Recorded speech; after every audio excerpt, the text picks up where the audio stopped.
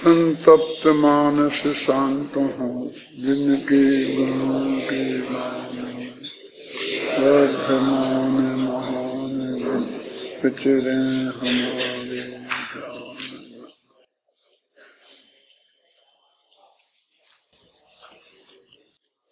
उन्नीसवीं और बीसवीं गाथा चलेगी।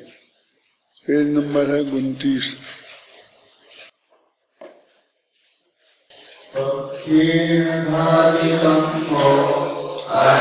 अनन्तवदीयो हरिहरेयो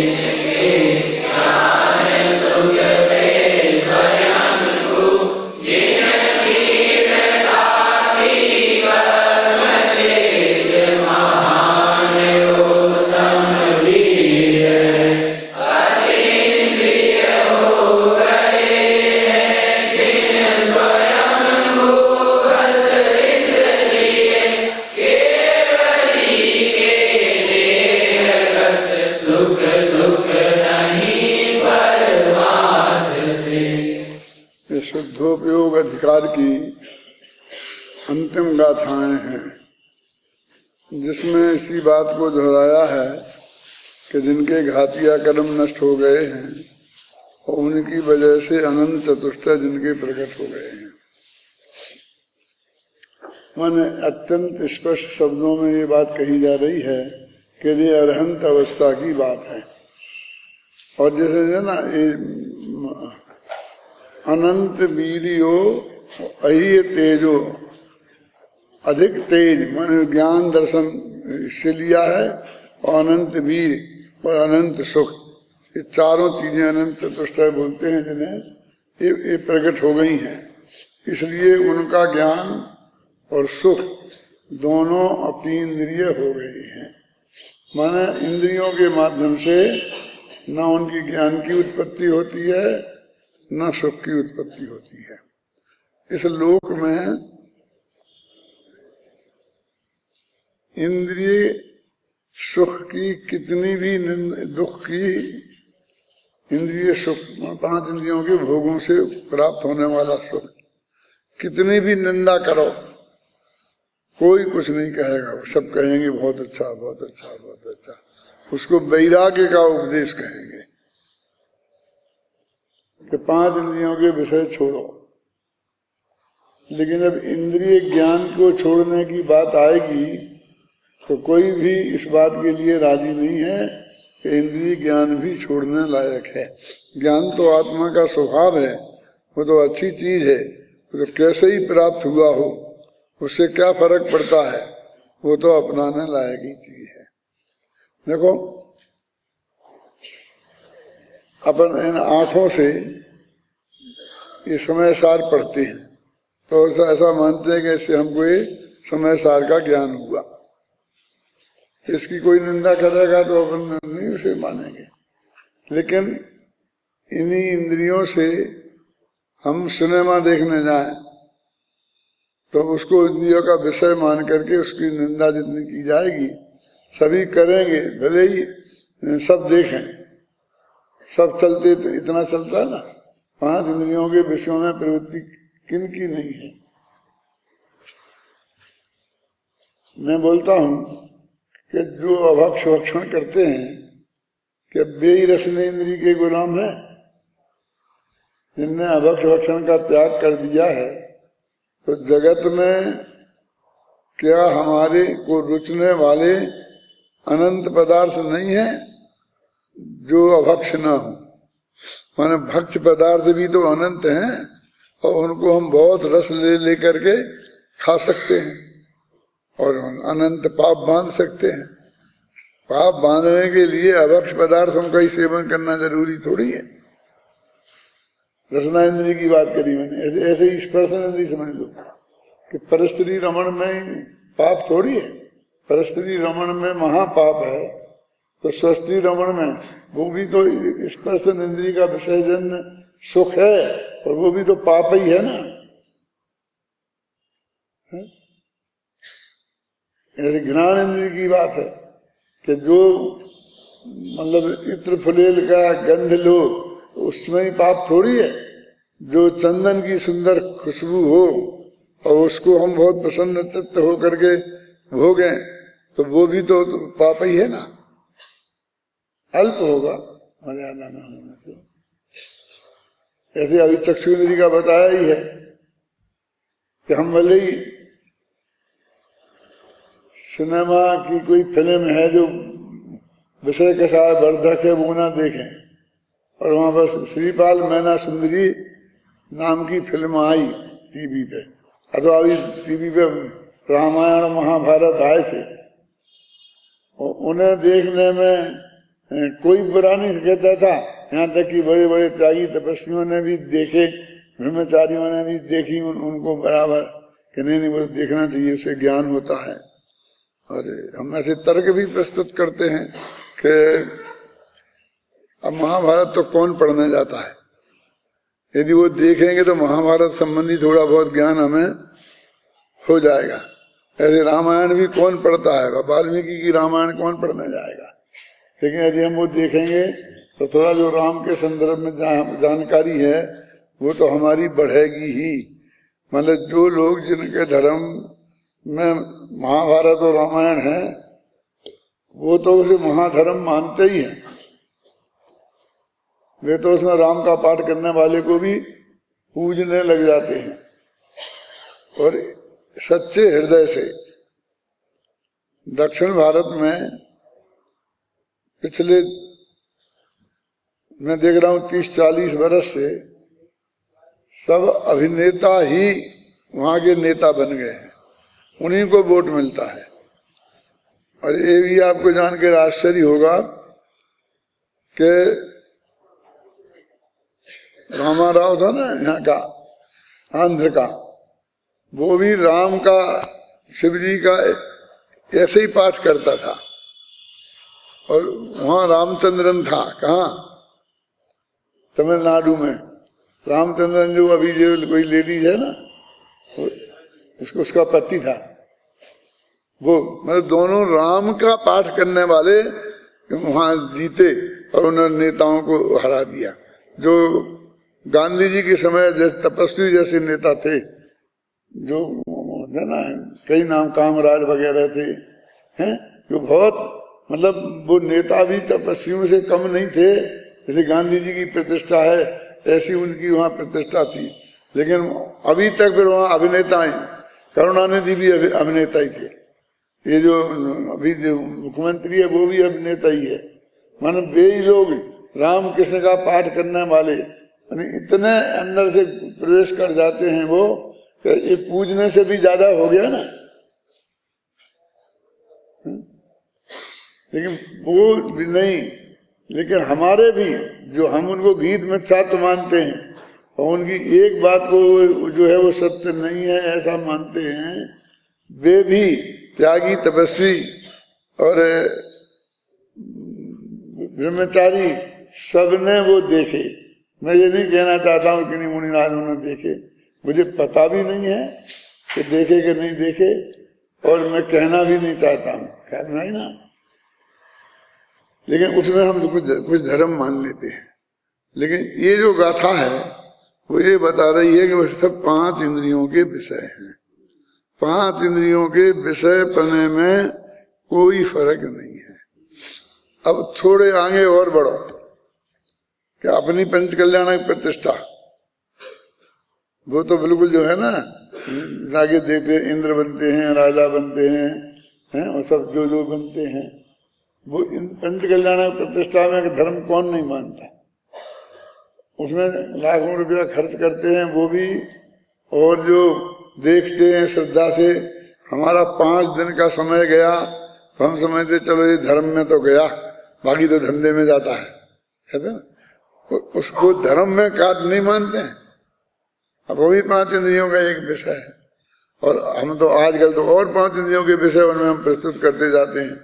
बढ़िया से बढ़िया नृत्य प्रस्तुत करते हैं, फिर ये करते हैं। एक मर्यादा और भंग करी उसने हमारी, कि जो निम्न निम्न कोटि के लोग नाचने, गाने का धंधा करते थे, और उससे ही हम देख करके संतुष्ट हो जाते थे।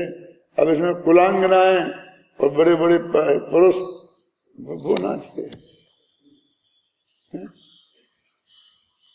नाचना नाचना तो वही है ना।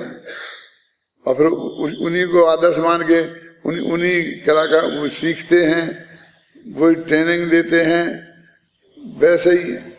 हाव भाव करते हैं हाथ पैर हिलाते हैं, जिस तरह की से वो सारी चीज़ें नहीं होती हैं, बोलो। और हम उसे धर्म मानते हैं। लेकिन ये कहते हैं, सारे पाँच इंद्रियों के विषय हैं। लेकिन पाँच इंद्रियों के विषयों में हम सबकी एक सी निंदा नहीं कर सकते।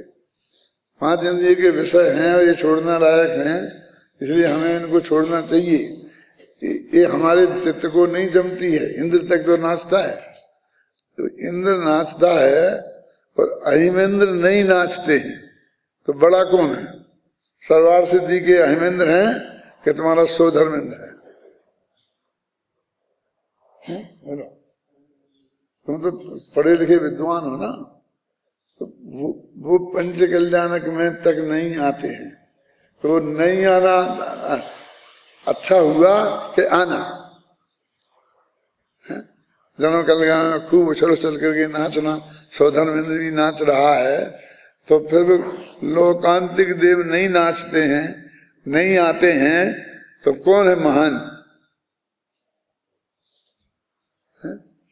लेकिन हम इतने महान हैं कि उनको भी महान मानते रहेंगे, आने वालों को भी, और नहीं आने वालों को भी महान मानते रहेंगे।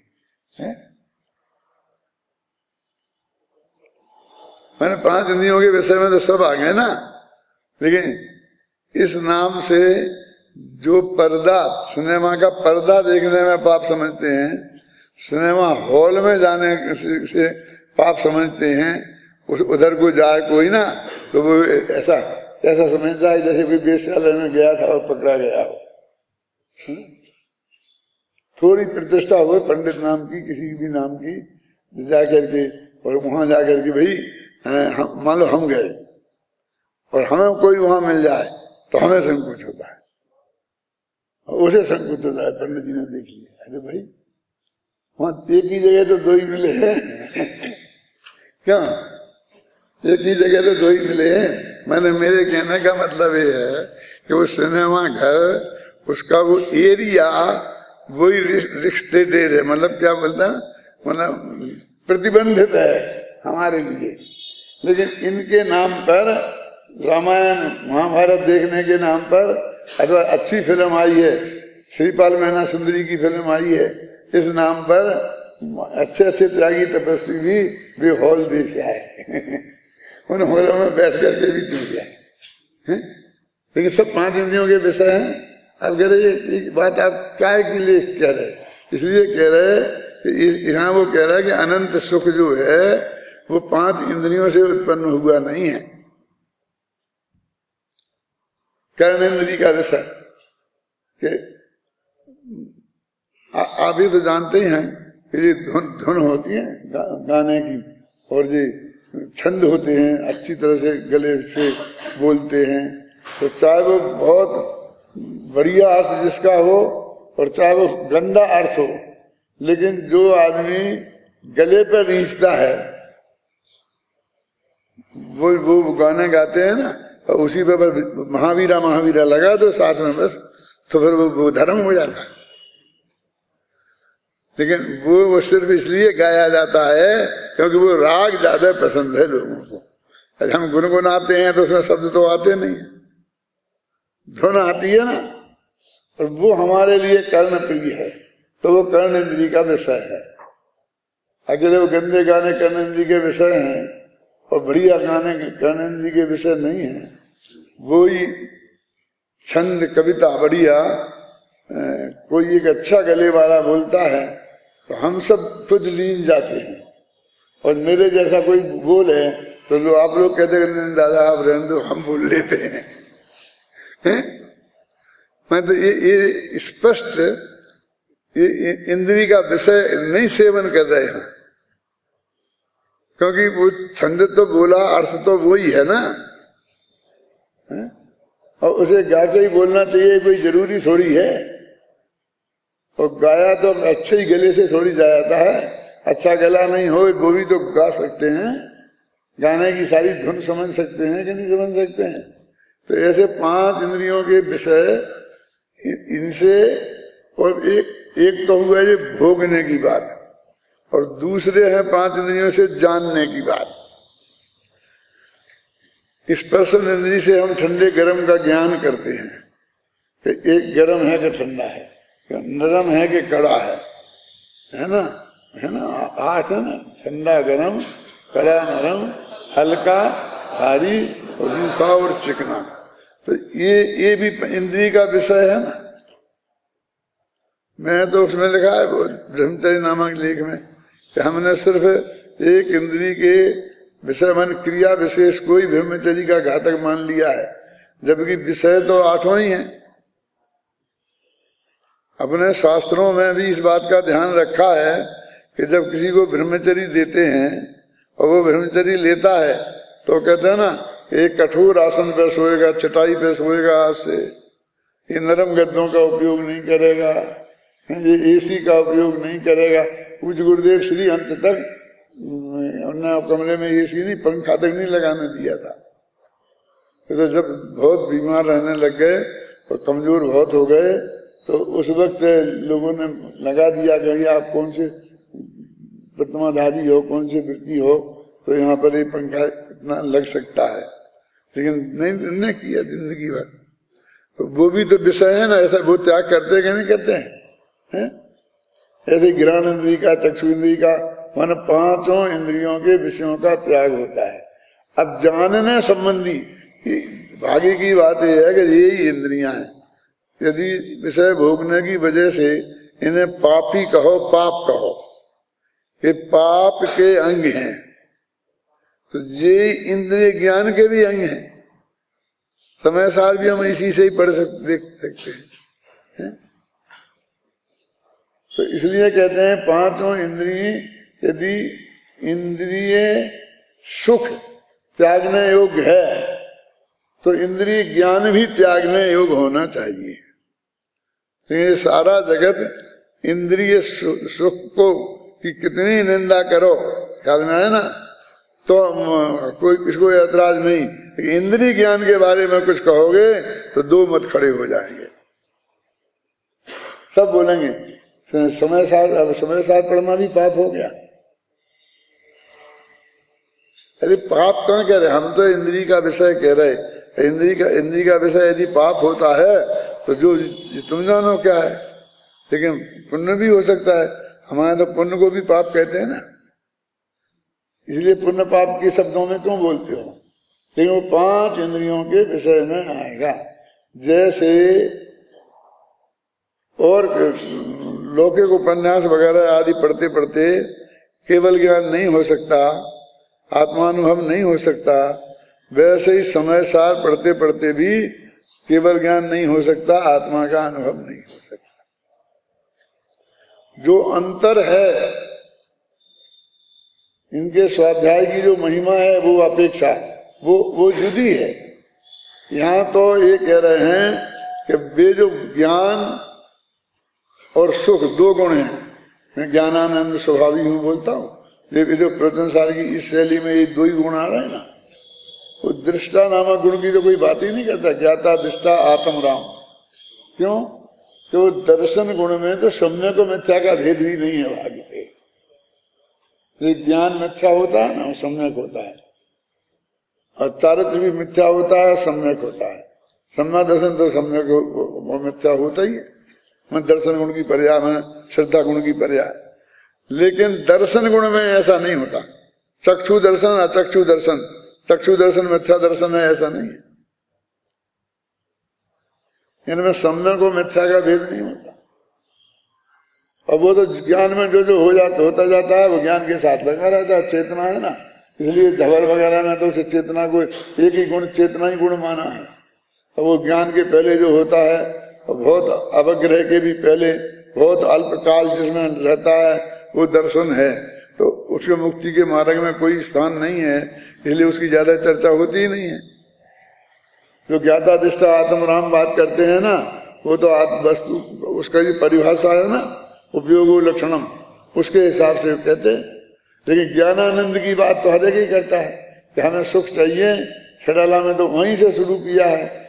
कि जे त्रुवन में जीव अनंत और सुख चाहे, दुख दें भयवंत ये कोई नहीं कहता है कि अनंत जीव हैं। विज्ञान चाहते हैं और अज्ञान नहीं चाहते हैं, ऐसा नहीं कहते।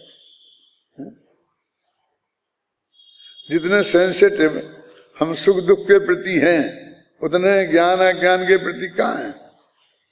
और सबसे बड़ी बात तो ये है कि ये लौकिक ज्ञान, इसमें सम्यक मिथ्या का कुछ है ही नहीं। दो दो चार होते हैं, सम्यक दृष्टि के भी और मिथ्या दृष्टि के भी। है ना? उसके ज्ञान में ही फ़र्क नहीं है, मेरा मतलब कहने का। इसलिए ज़्यादा फ़र्क नहीं पड़ता। तो सबसे ज़्यादा आनंद गुण की बात है। इसलिए आनंद गुण की बात करते हैं। अब वो कह रहे हैं कि जिनके चार घातिया कर्म नष्ट हो गए, पक्षीण घाति कम वो प्रक्षीण मन नष्ट हो गए हैं, घातिया कर्म जिनके। वे अनंत वर वीर, अनंत वीर, अधिक तेज, मन अनंत दर्शन, अनंत ज्ञान और अतिंद और उनका सुख। ये सब अतीन्द्रिय हो गए हैं। माने उनको इंद्रियों के माध्यम से इन सुखों की प्राप्ति, ये चार अनंत चतुष्ट की प्राप्ति नहीं होती। भाग्य की बात है, इंद्रियाँ हैं। और हम और तुमसे भी ज़्यादा मज़बूत हैं। क्योंकि वज्र में सब नाराज़ सनन की बनी हुई है, दृढ़ इंद्रिया। समझे ना? भाव इंद्रिया तो राग, देश जो छयोक्षण है ना, उसको बोलते हैं। तो वे तो नष्ट हो गई, वीतराग होते ही लेकिन द्रव्य इंद्रिया तो मौजूद है ना। लेकिन उनका कोई काम मौजूद नहीं है। मैंने आँख से देखते नहीं वे, कान से सुनते नहीं। आँख कान है, बिल्कुल स्वस्थ है। ऐसा नहीं है कान से सुनना बंद हो गया है। कान से सुनते नहीं मैंने डॉक्टर को दिखाओ, ऐसा नहीं।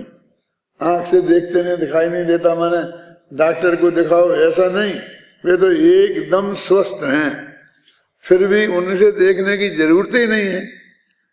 यदि हम ऐसे आँखें बंद करके बैठे हैं और हमको बिल्कुल सब एकदम स्पष्ट, केवल ज्ञान जैसा, ये सब हॉल में की सब एक एक चीज़ दिखाई देगी तो हम आँख क्यों खोलेंगे?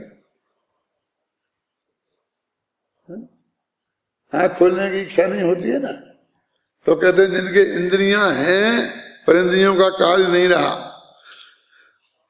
अब फिर उन्होंने ये लिखा कि केवल ज्ञानी के देहगत सुख दुख नहीं है।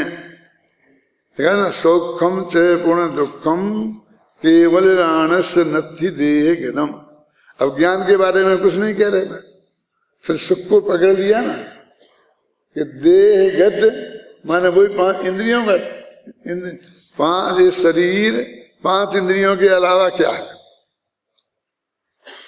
ये पाँच इंद्रिया आँख कान नाक शरीर स्पर्शन इन सबको मिलाकर के ही तो ये सब शरीर है, देह है। तो देहगत सुख दुख नहीं है, क्यों? क्योंकि उनके ज्ञान और सुख अतिद्रिय हो गए। ज्ञान काय को लगा रहे यही कहो ना, उनका सुख अतिद्रिय हो गया।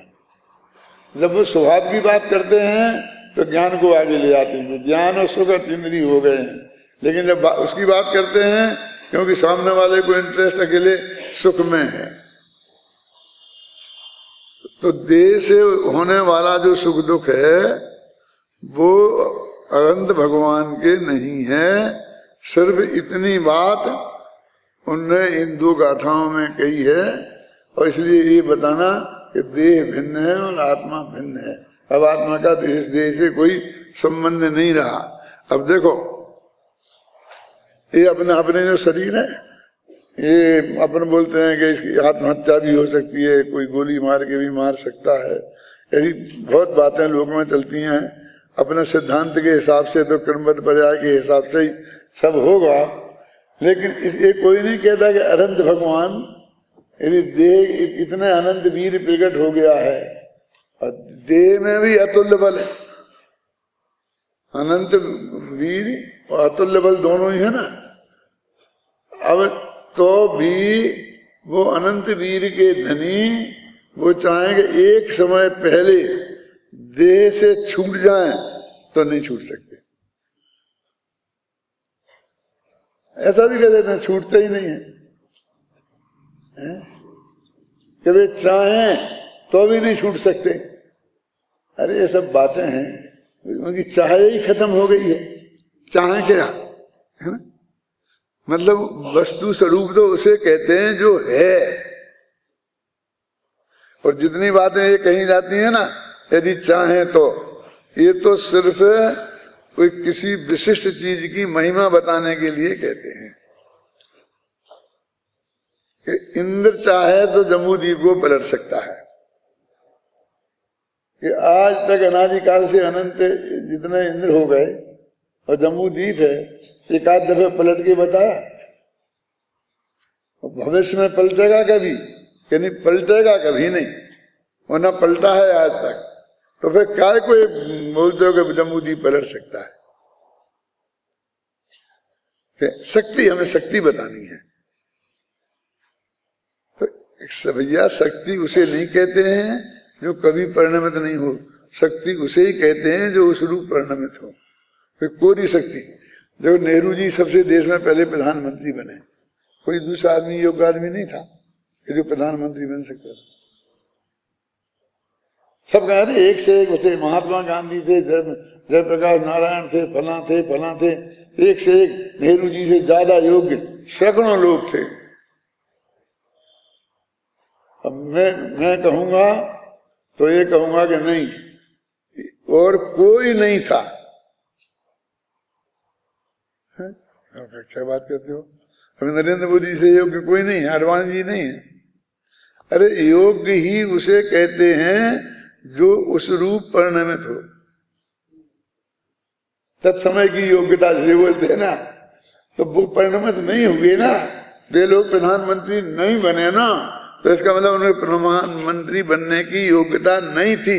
परम सत्य तो ये है। अब हमने न मालूम काय को योग्यता मान लिया। बहुत बढ़िया भाषण देते हैं बहुत अच्छा समझते हैं लेकिन बहुत बढ़िया भाषण देना बहुत अच्छा समझना इस, इसका नाम योग्य है योग्यता है ये कहा लिखा? हाँ? ये सब एक से एक बढ़ के हैं। यदि एक अभी यहाँ एक विद्यार्थी प्रवचन कर रहा था तो अकेला वही था और कोई योग्य नहीं है यहाँ प्रवचन करके बैठे के प्रवचन करे। कि हाँ उस समय वो ही योग्यता है। उसमें ही योग्यता थी। है? वो बाकी सब श्रोता के रूप में सुन रहे थे। जो भी यहाँ बैठे थे, देवी और हम लोग वहाँ से सुन रहे थे तो हम भी सब श्रोता, उस वक्त हम श्रोता की योग्यता वाले ही थे। योग्यता तो उसका नाम है ना, जो कार्य रूप परिणमित हो अच्छा अब अगर निमित्त की अपेक्षा निमित्त की अपेक्षा ले लो। तो मैं कहता हूँ उसको प्रधानमंत्री बनने लायक पुण्य भी उनकी झोली में नहीं है। समझ गए ना? निमित्त हो गया ना? पुण्य के उदय से बनते हैं ना? अपनी योग्यता से बनते हैं। योग्यता पढ़ाई लिखाई को जिसको भी समझते हो। और निमित्त पुण्य के उदय को समझते पुण्य का उदय है तो उनके पुण्य का उदय भी नहीं था। स्वभावगत योग्यता भी नहीं थी, पुण्य का उदय भी नहीं थी तो तुम काय को योग्य कह रहे थे? कि सैकड़ों लोग प्रधानमंत्री बनने के योग्य?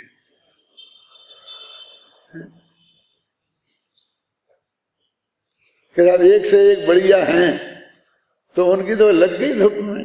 लग गई साहब। तो गांधी जी, नेहरू जी के पीछे थे, इसलिए बहुत लोग तो मेरे को ऐसा बोलते हैं कि ये तो चुनाव में जीत गए थे पटेल। उन्हें क्या कितने वोट थे? उनके ज़्यादा वोट हो गए थे। और ज़्यादा नहीं, इनके दो वोट थे तो उनके आठ वोट थे। इतना अंतर था। लेकिन फिर गांधी जी ने उसको कैंसिल कर दिया और फिर इनको नेहरू जी को बना दिया। ऐसा ऐसा मैंने कई लोगों को कहते सुना है। अब उनको ये तत्व कैसे समझ में आए? मैं कहता यही सही। फिर वो सबने मान ली ना। वो गांधी जी की बात सबने मान ली ना तो वो फिर वो नेहरू जी को सेवेंटी परसेंट मत हो गया ना फिर पटेल ने भी मान ली ना तो अब, अब क्या रह गया बोलिए? वे तो सर्वसम्मति से चुनेंगे और संविधान में भी यही लिखा है उसमें लिखा है प्रोसीडिंग में कि सर्वसम्मति से चुनेंगे। ये तो तुम्हारी तुमने निकाली है। नहीं, ऐसा हुआ था इतना हो गए थे जितने पक्ष में हो गए थे, और कृपलानी उनके पक्ष में थे? फलाने, जिस तुम सर्व, सर्वज्ञ ही हो और सब बैठे हुए हो, कहाँ से बैठ करके? हमारे किस, किसी मूर्ख ने तुमसे कह दिया होगा, और तुमने, तुम और दस से कहोगे, और वो चल चल पड़ेगी बात। हाँ ऐसा हुआ था, ऐसा हुआ था, ऐसा हुआ था, और उनको ही बनना था, इनको ही बनना था, है? अरे, जो बना, उसको ही बनना था। वो ही बना। जो होना था वो ही हुआ। तो ये कहते हैं कि ये अधिकार खत्म हो रहा है। बस इतनी सी बात है कि शुद्धोपयोग से अनंत सुख और अनंत ज्ञान होता है। इतनी सी बात पूरे शुद्धोपयोग अधिकार में कही। अब तो उनके साथ में दो और होते हैं, अनंत चतुष्ट में अनंत दर्शन और अनंत वीर। तो उनको भी लगा लो। ख्याल में आई ना? बात सिर्फ़ इतनी कहना चाहते हैं, क्यों? कि शुद्धोपयोग का, के फल में अनंत सुख और अनंत ज्ञान होता है, हमें तो वो ही बताना है। उतना ही हमारा उद्देश्य है। इसलिए तुम शुद्धोपयोग धारण करो। अब वो कहते वो अनंत सुख कैसा होता होगा? वो अनंत ज्ञान कैसा होता होगा? ऐसे कहे हाँ हाँ सबको जानता ये बात अलग है। और प्रैक्टिकल फिर वो को अपने ज्ञान में बैठ जाना अलग बात है। वो कहता है, ऐसा कैसे हो सकता है कि सामने की चीज़ देख रहा तो उस वक्त पीछे की कैसे दिख सकती है? केवल ज्ञान में? वो क्या कहता है? हाँ ठीक है, पीछे की भी चीज़ देखने की योग्यता उनमें है। लेकिन सामने देखता तो कैसे देख सकता होगा? और फिर वो इतनी दूर है कि जहाँ हम अभी जा ही नहीं सकते हैं तो हमारे पास वीज़ा नहीं हो तो अमेरिका हम जा ही नहीं सकते हैं तो अमेरिका की बात कैसे जान सकता है? ऐसी बात करता है। तो उसे समझाएँगे कि वो ज्ञान में ऐसी सामर्थ्य है। कभी कभी ऐसी बात करता है कि वो ज्ञान में इतना जानने जाएँगे तो बहुत मेहनत हो जाएगी। कुछ लोग ऐसे आधे पागल होते हैं कि पहले एमए हिंदी में करेंगे, फिर संस्कृत में करेंगे, फिर अंग्रेज़ी में करेंगे, फिर ज्योतिष शास्त्र में कर लेंगे, फिर लिखेंगे सात विषयों में एम ए। इसमें कौन सा आश्चर्य हो गया? क्यों? एक विषय में एमए करने के बाद कोई भी आदमी किसी भी विषय में एमए कर सकता है। कानून से यूनिवर्सिटी का ये कानून है। अब उसमें आपको वो एमए की योग्यता होनी चाहिए। उसके लिए अलग पेपर तो बनते नहीं है। उसने बीए तक वो सब्जेक्ट नहीं पढ़ा और फिर एमए में वो पढ़ा तो उतना ही वैसा ही जानने पर्याप्त होगा एमए में जानने के लिए। और वो हर साल देता जाएगा एक परीक्षा। तो अस्सी नब्बे वर्ष की उम्र तक भी देते देते पचास में हो सकता है। हमारे उधर चलता था हमारे दो तीन गुरु जी थे, एक सप्त तीर्थ एक पंचाचार्य पाँच विषयों में आचार्य थे एक सात विषयों में तीर्थ थे। तो उस बड़ी महिमा गाते थे आ, आ सात विषयों में तीर्थ फैलाना ऐसा। अब अभी हमको कुछ नहीं लगता इसमें है क्या? तो फिर बेवकूफ़ क्यों कह रहे तुम? इसलिए कह रहे हैं कि ज़िंदगी के इतना समय काय को बर्बाद किया? तूने सात तीर्थ में होकर तूने सात विषयों में एमए करने के बाद तेरी ग्रेड बढ़ गई ना? यानी ग्रेड तो नहीं बढ़ी वही वही ग्रेड सेकंड ग्रेड में ही हूँ। तो तूने चौदह वर्ष मुफ़्त में कितने ज़िंदगी के क्रीम गमाए और तू हर काम तो कर नहीं सकेगा। पहले डॉक्टरी पूरी पढ़ ली, फिर उसमें खत्म हुआ तो इंजीनियरिंग में भर्ती हो गए। फिर इंजीनियरिंग कर लिया, फिर ऐसे ऐसे कर ले सारी ज़िंदगी। तो उनका प्रयोग में तो कभी नहीं, एक मरीज़ को तो दवा नहीं दे पाएगा एक जगह एक मकान नहीं बना पाएगा। काम तो कुछ नहीं कर पाएगा ना। तो ऐसी योग्यता इकट्ठी करने से क्या फ़ायदा? इसलिए मैं उन्हें आधे पागल के बोलता हूँ। तो पूरे पागल क्यों नहीं बोलता हूँ? पूरे पागल होते तो परीक्षा दे ही नहीं पाते।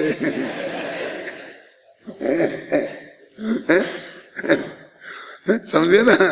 इसलिए इसलिए आधे बोलते हैं। अरे भाई हमारा लक्ष्य केंद्र ज्ञान होना चाहिए ना।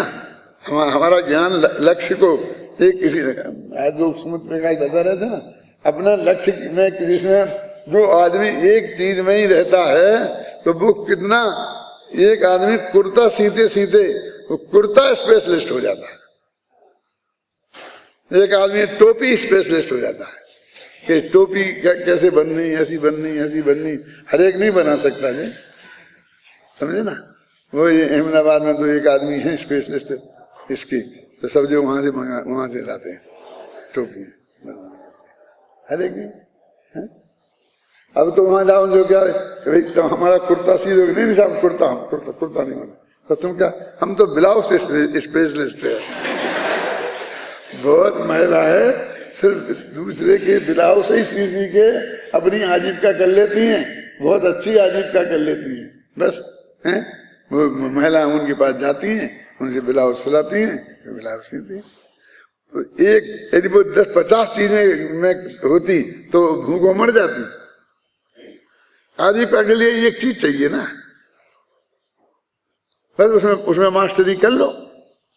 उसमें बिल्कुल स्पेशलिस्ट हो जाओ। अब बाकी फिर अपने आत्मा के कल्याण के लिए अपना काम बचे। है? अपना सारा जीवन फिर आत्मा के लिए लगाओ। क्योंकि मनुष्य जीवन में रहोगे गृहस्थ अवस्था में तो आजीविका तो करनी पड़ेगी ना। कला बहत्तर पुरुष की, तामे दो सरदार, एक जीव की जीविका और एक जीव उद्धार। एक वो जीविका वाले कला। उसमें हम माहिर होंगे तो हमको कम मेहनत में ज़्यादा पैसे मिल जाएँगे। है ना? और आत्मा के कल्याण की कला तो हमें हर एक को चाहिए ही चाहिए है। तो इसे शुद्धोपयोग अधिकार खत्म हो गया। मैं ये बताना चाहता हूँ बार बार ये कहना चाहता हूँ कि यहाँ इतनी सी बात कही कि शुद्धोपयोग के फल में अनंत सुख और अनंत ज्ञान की प्राप्ति होती है। बस क्यों? क्योंकि अनंत ज्ञान और अनंत सुख ही ये जीव चाहता है। सहायता तो सुख ही है और साथ में ज्ञान भी मिलता है। अपने कहते हैं, बन बाय बन फ्री अनंत सुख चाहिए ना तुम्हें? तो अनंत सुख के लिए पुरुषार्थ करो तो अनंत ज्ञान मुफ़्त में मिल जाएगा। और अनंत ज्ञान में प्रयत्न करो तो अनंत सुख मुफ़्त में मिल जाएगा। ऐसा बोल लो। मतलब सीधी सच्ची बात यह है कि वे दोनों चीज़ें एक साथ ही होती हैं। चारों ही दोनों ही क्या? अनंत चतुष्ट एक साथ ही होता है, और उसके लिए जो भी पुरुषार्थ होता है वो शुद्ध, उसका नाम शुद्धोपयोग है। होता है कि हम करें तो क्या? वहाँ कर्तृत्व की भावना खत्म हो जाती है, तब तो वो शुद्धोपयोग शुरू होता है। अभी अपने इसको जरा पढ़ लेते हैं, इसकी टीका। असली बात तो जो कहना थी वो आ गई।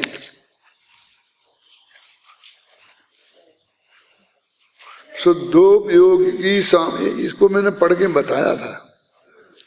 तो मुझे पढ़वाया था ना तीन तीन का, अभी अभी आ जाएगा तुम्हारे ख्याल ख्याल में। शुद्धोपयोग की सामर्थ्य से जिसके घाती कर्म क्षय हो गए हैं सायोग ज्ञान दर्शन के साथ असंप्रक्त होने से जो अतीन्द्रिय हो गया है, समस्त अंतराय का क्षय होने से जिसका उत्तम वीर है, समस्त ज्ञानावरण, दर्शनावरण का प्रलय हो जाने से जिसके केवल ज्ञान और केवल दर्शन नामक तेज अधिक है ऐसा वह स्वयंभू आत्मा समस्त मोहिनी कर्म के अभाव के कारण अत्यंत निर्विकार शुद्ध चैतन्य स्वभाव वाले आत्मा का अनुभव करता हुआ स्वयमेव सुपर प्रकाशकता लक्षण ज्ञान और अनु अनाकुलता लक्षण सुख रूप होकर परिणमता है। तो बाकी सब चीज़ों को कारण में डाल दिया। और फल में फिर वही अनंत ज्ञान और आनंद सुख को डाला। तभी अनंत दर्शन भी हुआ ना आनंद वीर भी हुआ ना इस प्रकार हम देखते हैं कि ज्ञान और आनंद आत्मा का स्वभाव ही है, क्योंकि स्वभाव पर से निरपेक्ष होता है, इसलिए आत्मा के ज्ञान और आनंद भी निरपेक्ष ही होते हैं। उन्हें इंद्रियों की अपेक्षा नहीं है, देह की अपेक्षा नहीं है, वे पूर्णता स्वाधीन हैं। आत्मा को सुखरूप और ज्ञान रूप परिणमित होने के लिए पर की रंच मात्र भी अपेक्षा नहीं है, आवश्यकता नहीं है। पहले एक बात समझ लो, फिर ये दो बातें, जो दो लाइनें हैं, ये ज़्यादा महत्वपूर्ण है, समझने में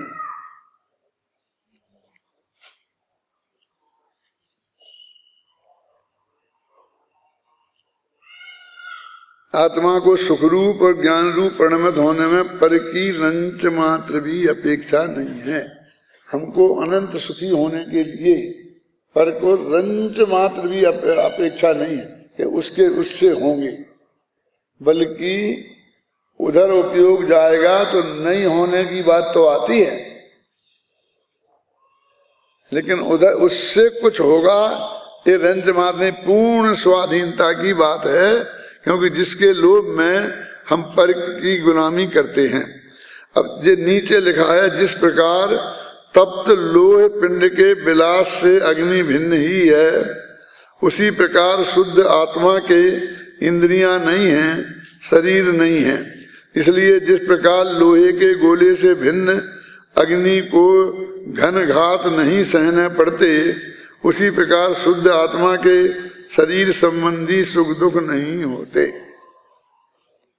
अब ये जो उदाहरण दिया है, ये एकदम उल्टा लगता है। लोक में तो ऐसा प्रसिद्ध है कि अग्नि सहे घन घात लोहे की संगति पाई और यहाँ लिख रहे हैं कि उसको घन घात नहीं सहने पड़ते। और सिद्धांत भी क्या समझाया है, मैंने इसकी बहस सब पूरी इसमें लिखी है। इसकी निकालो तुम्हारे निकाला है तो फिर पढ़ के वही बता देता हूँ तो मुझे ज़्यादा पढ़ना नहीं, नहीं पड़ेगा।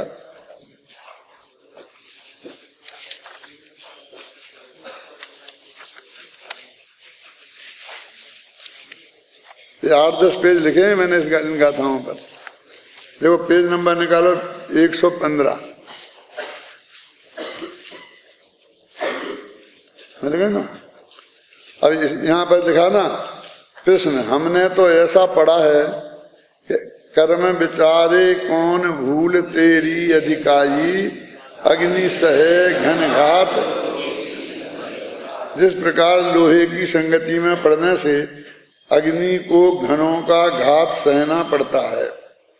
उसी प्रकार इस आत्मा ने स्वयं को भूल कर, अर्थात तो स्वयं की भूल से कर्मों की संगति की है, अतः अनंत दुख उठाए हैं। इससे कर्मों का क्या दोष है? मन इसने कर्मों की संगति की। तो संगति तो इसने की तो गलती इसकी है। ऐसा बताना चाहते हैं। अब अब, अब उत्तर देखो इसका। उक्त कथन में तो यह पाया है कि आत्मा ने देहगत दुख पाए हैं।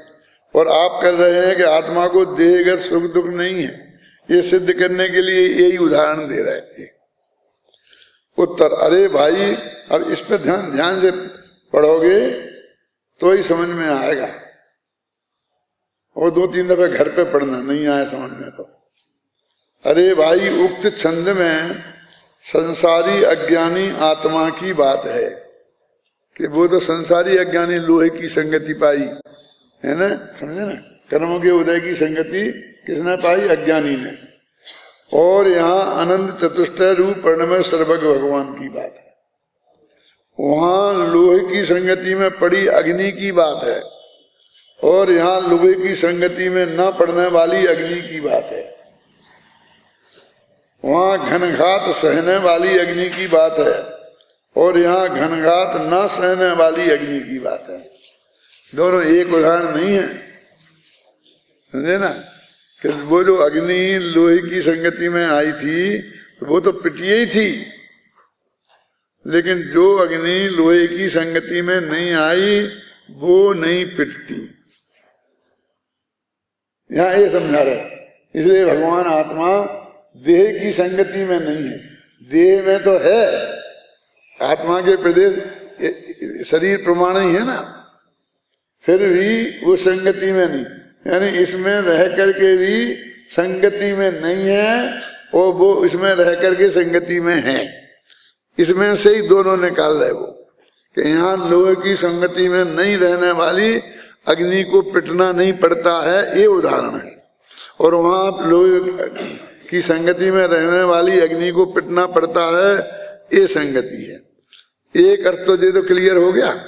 अब एक और अर्थ है, देखो, आगे पढ़ने, देखो।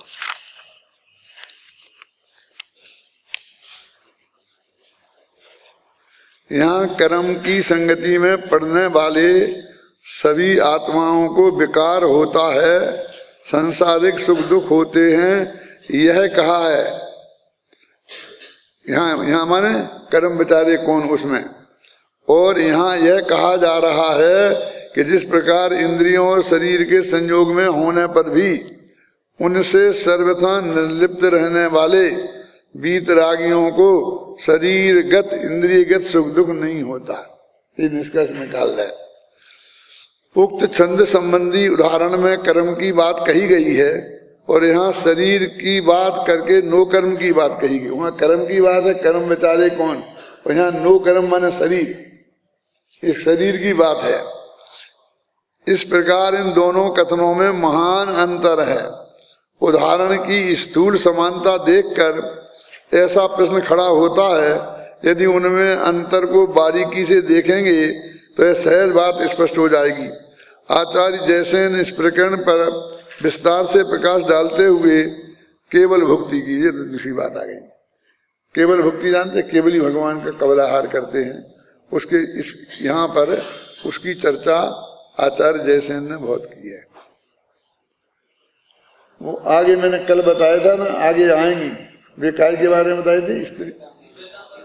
श्वेतांबर की बात तो वो थी, वो स्त्री मुक्ति के संबंध में थी। वे गाथा और ये केवली कबलाहार संबंधी श्वेतांबर और दिगंबरों में मुख्यतः दो ही अंतर हैं न्याय शास्त्र की दृष्टि से। केवली कबलाहार और स्त्री मुक्ति। और जितने अंतर देखने में आते हैं, वो इनका ही फल है, क्योंकि जो अपने आता ना इतिहास में, कि वो ने कपड़े पहन लिए थे अकाल अकाल के समय।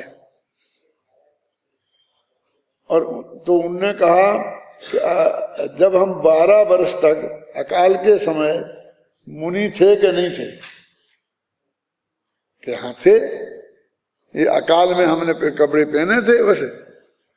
तो हम जब 12 वर्ष तक मुनि रह सकते हैं तो अब क्यों नहीं रह सकते? समझ गए ना? आप इस तर्क के आधार पर उनने फिर कपड़े छोड़े नहीं। वे श्वेतांबर हो गए। अब एक समस्या खड़ी हो गई उनके यहाँ, जो नए श्वेतांबर हो गए थे, कि भैया तुम मुनि तो हो गए रहे, लेकिन दो नंबर के रहे ना? दिगंबरों जैसे एक नंबर के तो नहीं रहे ना? कि जिनने उस अकाल के समय भी नहीं पहने और चले गए थे, और जिनने द्वारा दीक्षा लेके नगर दिगंबर हो गए, उन जैसे नहीं रहे। क्योंकि अब तुम मोक्ष नहीं जा पाओगे। अब वे मोक्ष जाएँगे। तो उन्होंने कहा ये बात ठीक नहीं। मोक्ष तो हम हम दो नंबर के मुनि तो नहीं बनेंगे। तो उनने अपने शास्त्रों में वो सवस्त्र मुक्ति की बात कहना शुरू कर दी कि वो वस्त्र पहने पहने भी मोक्ष हो सकता है। जब सवस्त्र मुक्ति की बात कहने लग गए तो स्त्रियों के बारे में ये था कि वे कपड़े नहीं खोल के नहीं रह सकती हैं समाज में। कपड़े खोल के नहीं रह सकती हैं इसलिए तो उन्होंने कपड़े पे मुक्ति नहीं होती। तो वो कहते जब पुरुषों को हो जाती है कपड़े पहने पहने तो महिलाओं को कपड़े पहने पहने क्यों नहीं हो सकती? तो वो स्त्री मुक्ति आ गई। अब स्त्री मुक्ति आ गई तो उन्होंने कहा कोई स्त्री गई है मोक्ष के वैसी बात नहीं बातें करोगे? तो तो कहानी में से दो चार ऐसी स्त्रियाँ खोजनी पड़ी। क्या? तो उन्होंने कहा हाँ, तीर्थंकर की माता। मर देवी जो है, वो हाथी पे बैठे बैठे मोक्ष चली गई थी। उनने दो चार को मोक्ष भेज दिया महिलाओं को। है ना? सुनने की महिलाएँ तो हो गई, लेकिन तीर्थंकर नहीं हो सकती। तो उन्होंने खोजा कि कोई नाम जो महिलाओं जैसा हो। है? तो मल्ली कुमारी उनने बना करके उनको स्त्री बना दिया। मल्ली कुमारी क्यों? कि वो बचपन में ही जल्दी दीक्षित हो गई थी और छह दिन में ही उन्हें केवल ज्ञान हो गया था। इसलिए ऐसे कोई प्रसंग नहीं है उनके जीवन में कि जिसमें वो वे पुरुष से ये बात सिद्ध हो जाए। इसलिए उनको आसानी से महिला सिद्ध किया जा सकता है। है ना? और अब वो इस तरह से वो चीज़ प्रवेश कर गई। और ऐसे ही वो कबला हार वो उनके लिए हार लेके जाते थे छिपा के लेके जाते थे। माने वो एक जो दोष हुआ उसकी पुष्टि के लिए फिर दोष पर दोष खड़े होते जाते हैं। क्योंकि यदि ये मानते हैं यदि वस्त्र के बिना नहीं होगी तो फिर वो आजकल के जमाने में, महिलाओं का जमाना आ गया, महिलाएँ बराबरी पे बराबरी पे करें तो वो कहते, देखो, श्वेतांबर, महिलाओं को भी मुक्ति जाने का अधिकार देते हैं और दिगंबर नहीं देते हैं। दिगंबरों के बाप के पास हो अधिकार। अधिकार के वो तो वस्तु का स्वरूप है, वस्तु का स्वरूप है। कल तो तुम ये कहो कि महिलाएँ महिलाएँ कम बच्चे पैदा करें? आधे पुरुष को करना चाहिए। आधे महिलाओं को? तो तुम उसमें क्या कर लो? तो प्रकृति से जो जिसका जैसा शरीर का निर्माण हुआ ना वो हमारे हाथ में है ना तुम्हारे हाथ में है तो उसको उन्होंने स्वीकार नहीं किया। तो इस तरह की बातें हैं। अमर चंद्राचार्य ने उसको जा, उनको ज़्यादा महत्व नहीं दिया। उनने कहा इस व्यर्थ के विवाद में क्यों उलझने से कोई फ़ायदा नहीं है? जिसे समझना होगा गहराई से समझेगा। कदाचित ऐसा हो सकता है कि ऐसे बहुत लोग उनके अनुकूलता में रहे हों अनुकूलता माने उनके प्रवचन वगैरह सुनते हों उनसे तत्व ज्ञान सीखते हों। और एक व्यर्थ की बात से वो डिस्टर्ब हो जाते हों सीधी सच्ची बात है झगड़े की बात है कोई उलझना नहीं चाहता है। हैं? और कुछ लोग ऐसे होते कि नहीं हम तो सिद्ध करेंगे। हैं? आप यदि भाषा भी पढ़ोगे जैसे इनकी और उनकी तो वो जो, जोम की भाषा है ना जान ठोक की भाषा जैसे अपने उत्तम चंद जी के प्रवचन में आती है ना हर जगह हर जगह चैलेंज चैलेंज की भाषा। कि तुम्हें ये सिद्ध कर दूँगा, मैं ये सिद्ध कर दूँगा, मैं ये सिद्ध कर दूँगा। है? समझे ना? और अभी तुम सहज भाव से सिद्ध करो करो ना। वस्तु का स्वरूप बताते जाओ तो अपने आप सिद्ध हो जाएगी।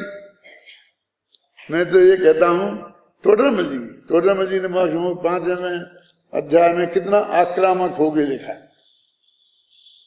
वही बातें आक्रामक हुए बिना भी लिखी जा सकती। तो ऐसा तीव्र विरोध भी उनको सहन करना पड़ा। क्या हुआ है? लेकिन ऐसी कोई बात नहीं कि सैद्धांतिक उनमें मतभेद रहा हो। अब कल वो कहते हैं, वो ज्ञान और सुख जो शुद्धोपयोग के फल में प्राप्त होगा, होता है, वो उसका स्वरूप समझाएँगे वो।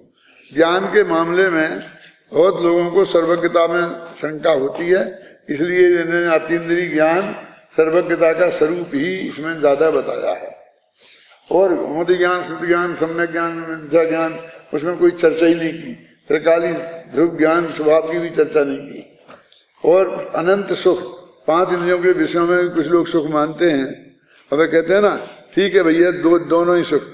मुक्ति भुक्ति दातार चौबीसों जन राज पर। देखो, ये है, मोक्ष भी देता है, भोग भी देता है। मुक्ति भुक्ति दातार बहुत से लोग ये हैं कि संसार का सुख भी मिले और मोक्ष का सुख भी मिले इससे बढ़िया क्या है, है? अपने मूल आचार्य ये कहते हैं मूल आचार्य माने मूल संख्य आचार्य कि भाई सुख है ही नहीं सच्चा अतीन्द्रिय आनंद के अलावा हम तो ये बात का विचार कर रहे हैं और तुमको दो ही मिल जाए दो ही मिल जाए तो दो हो तो मिल जाए है? तो जो कहते दूसरा सुख तुम्हें दिखाई देता रहेगा तो जो असली सुख है उसकी तरफ़ तुम ध्यान ही नहीं दोगे, तुम उसी के पीछे दौड़ोगे। तो वो है ही नहीं, ये बात कही। अब अतीन्द्रिय ज्ञान की चर्चा चलेगी। और उसमें सर्वज्ञता की बात मुख्य है। और सर्वज्ञता यदि हमारे गले उतर जाती है तो कर्मध पर्याय अपने आप हमारे गले उतर जाती है। दो मिनट हैं अभी, लेकिन मुझे बहुत महत्वपूर्ण बात कहनी है, इसलिए मैं कहूँगा। अपन पूजा भक्ति रोज़ाना करते हैं। भगवान की पूजा भक्ति करने वाले हैं ना, जिन्हें हम अपना विरोधी समझते हैं भी हमें अपना विरोधी समझते हैं। लेकिन उन्हें भी जिन भगवान की वे पूजा करेंगे, वे भगवान हैं कैसे? इतना तो जानना पड़ेगा ना। तो उसमें बीतरागी सर्वज्ञ, ये तो सबसे पहले आएगा कि नहीं आएगा? तो ये सर्वज्ञ वाला ये प्रकरण, चाहे कठिन हो, चाहे सरल हो, समझना तो पूजा करने वाले को भी पड़ेगा। नहीं तो वो पूजा भी उसकी सही नहीं होगी। क्या समझ में क्या कहना चाहता हूँ? समझ गए ना? ऐसा नहीं कभी बोलो हम तो पूजा पाठ वाले हैं, ये जो तत्व चर्चा करने वालों से बात करो उसकी। वो तो ऐसी पर, वो चीज़ है कि कोई भी भगवान माने, भगवान तो क्या जानते हैं? कि सब सब जानते हैं, आज तक तो किसी ने शंका की नहीं थी। अब आज वह उसको क्रमबद्ध सिद्ध होने लग गई ना तो कहने लगे कैसे हो सकता क्या हो सकता क्या हो सकता नहीं नहीं, नहीं जानते हैं। तो सर्वज्ञता का स्वरूप समझना पड़ेगा। और खासकर इसमें ये बातें बताई हमें इधर तक इतना ज़्यादा जानेंगे तो हम बहुत थक जाएँगे सात विषय में करने जैसा। तो कोई पूजा नहीं है। इसमें कोई मेहनत नहीं करनी पड़ती है। सारा घी अपने आप आगे झलक जाते हैं। ज्ञान को अपने स्थान से जाना नहीं पड़ता। वो सब बातें बताएँगे। कि कितना सहज है, कितना सरल है और कितना संभव है। ये सारी चीज़ें आई सम्यक ज्ञानाधिकार में बताएँगे, जो बहुत ही आवश्यक है।